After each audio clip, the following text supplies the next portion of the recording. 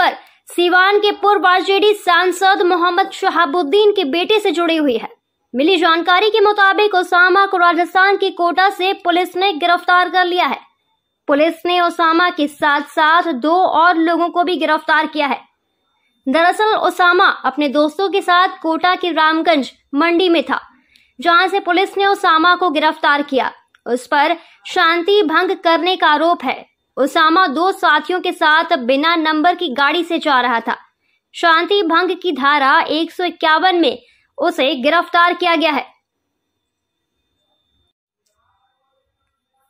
हालाँकि अभी तक आधिकारिक पुष्टि नहीं हुई है। ओसामा शहाब पर सिवान में दो और मोतिहारी में केस दर्ज है। ओसामा शहाब को कोटा ग्रामीण की रामगंज मंडी थाना पुलिस ने गिरफ़्तार किया है। बताया जा रहा है कि शांति भंग करने के आरोप में ओसामा को गिरफ़्तार किया गया है।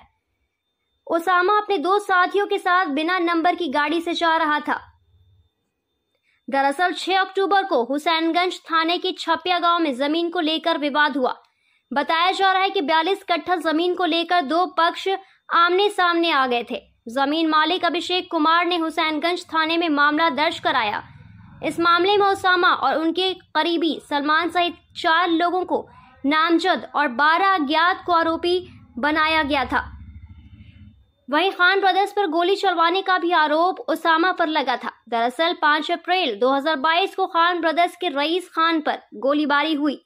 इस मामले में ओसामा शहाब समेत आठ लोगों को आरोपी बनाया गया था।